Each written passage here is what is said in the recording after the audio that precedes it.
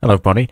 Uh, today, I just want to take a quick look at the uh, Riot Vanguard update for League of Legends because I've seen some posts online about this. Now, I'll make another video about whether you should uh, install this and whether it's uh, a privacy concern, but the TLDR of it is given that I'm making this video and this is not a VM, I, I, I do think it is okay, and I think there are all some benefits to having a kernel level anti cheat. So I'm just going to try and run the update uh, tips for how people uh, who are getting errors. Because if you go on the r slash League of Legends, you can see a lot of people are having trouble with this. So we'll click update, and you won't see that on the video because that was a UAC prompt. But basically, we just had to give administrator permissions, and of course, you will have to reboot uh, once uh, Vanguard actually installs.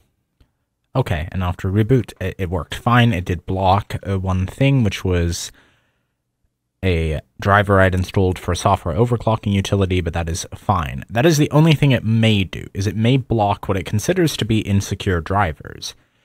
Those are drivers which it finds uh, might be exploitable. Uh, it's actually, it's generally beneficial for security, but if you do have a, a, driver being blocked, that's what it is. You can go to, you can go and find the file and see, and that's what it explains here.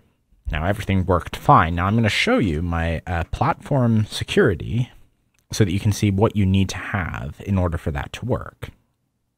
And I've already tested it and the game works fine. So you can have this disabled, which is good because this has a pretty big performance hit and isn't always that useful. You need to have a TPM if you're on Windows 11 or if you have any virtualization features enabled.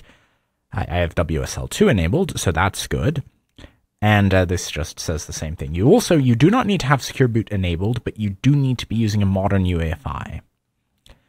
I'm just going to go over to the Reddit and see some of the complaints. So, uh, this person is just not able to get in. Uh, this person uh, is having a couple of issues. So, he's not able to get in because he doesn't have features. I'm going to guess it's probably, it's like 99% probably he installed Windows 11 uh, and bypassed the TPM requirement, and Vanguard does not like that, so you have to enable it. Now, if you have a consumer CPU made within the last, uh, let's say after 2018, you absolutely have a firmware TPM. It's just a matter of going into your BIOS and enabling it. It's simple to do, and every motherboard manufacturer has included a guide on how you can do that. So that's straightforward. Uh, if you have a server platform, you will need to buy a physical TPM. Now you can do that, it's easy, but there's one thing you got to watch out for if you're buying a physical TPM, which is you need to make sure for whatever motherboard you have that you're buying a TPM that physically fits. Uh, now, all of these I, I, would say are pretty irrelevant. These are network and stuff. That's not affected. Uh, there's this one this one, there, there's no plausible possibility for false positive. So if you're getting this, either you've already been banned for cheating and are trying to do it again, or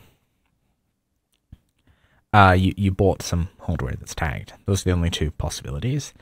Uh, TPM, not enabled. Uh, already explained that one. Exploit protection. This one is strange, but basically, you can go into your start menu, you can type exploit protection, you can find the settings for this. Now, the this one is always on by default. The only way this is disabled is if you, or maybe you installed a virus that did it.